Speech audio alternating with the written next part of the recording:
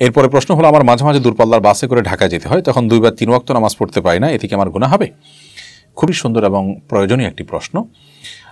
আমরা যখন দূরপাল্লার সফরে যাব, সেটা বাস, ট্রেন বা লঞ্চ, যেটাতেই করে হোক না কেন, এই সফরের প্রতিমধ্যে যে সালাদগুলো পড়বে, সেগুলো আমাদেরকে আদায় করতে হবে অক্তমতো আমরা যে সেগুলোকে দুই তিন অক্তকে একত্র করে বা কয়েক অক্তকে একত্র করে গন্তব্যে গিয়ে আদায় করি, তাহলে সেক্ষেত্রে গুণা হবে এবং বড় ধরনের গুণা হবে। সালাদকে ওয়াক্তমতো না আদায় করার কারণে যে কাবিরা গুণা সেই কাবিরা গুণা হবে। আল্লাহ তালা বলেছেন, ইন্না সলাতা কাহানাত আলাল মিনা কিতাব মকুতা ইমানদারদের জন্য নির্দিষ্ট সময়ে সালাত আদায় করাটা ফরজ করা হয়েছে, অবধারিত করা হয়েছে, অপরিহার্য করা হয়েছে। বিদায়, সেই সময় মতোই সলাত আদায় করতে হবে।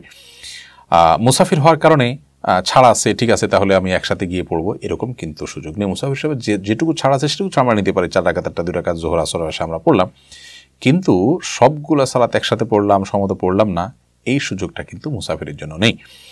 আমরা এক্ষেত্রে যেটা করতে পারি তা হলো সফরের শুরুতে ট্যুর প্ল্যানটা সেভাবে করতে পারি যে আমার পথে কোন ওয়াক্ত সালাদ পড়বে সে ওয়াক্তে কীভাবে পড়ব। হয় আমি সে ওয়াক্তের একদম মানে শুরুর দিকে সালাদ পড়ে আমি বের হয়ে চলে গেলাম।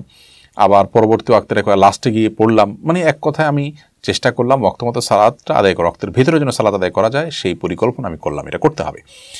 আর যে গাড়িতে যাব, সে গাড়িতে সালাতের জন্য দাঁড়াবে কিনা নামাজ জন্য বিরতি দিবে কিনা, তাদের জিজ্ঞেস করে নিতে পারি কন্ডিশন দিয়ে নিতে পারি, অর্থাৎ আমার সাধ্যের সবটুকু আমি করতে হবে।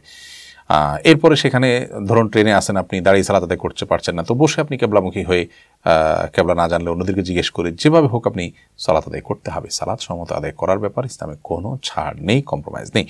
তো এই বিষয়টাকে আমাদের বুঝতে হবে। এমনকি মহিলারা যদি থাকেন সফরে, তাদেরও সালাতের অ্যারেঞ্জ করে বা ওইভাবে চিন্তাভাবনা করে বের হতে হবে যে তারা কোথায় সালাত আদায় করতে পারেন। কোথাও নেই, কোনো একটা দোকানে, কোনো একটা জায়গায় পুরুষ সাথে থাকলেন, একটু জায়গা নিয়ে বা মসজিদের এক কোনায় দাঁড়িয়ে সালাত আদায় করবেন। সালাত এমন একটা বিষয় যে এটাকে আপনি মনে চাইলেও সবগুলো অক্ত একসাথে পড়লেন, এরকম সুযোগ নেই। আল্লাহ তালা আমাদেরকে তফিক দান করুন বোঝান এবং আমল করার।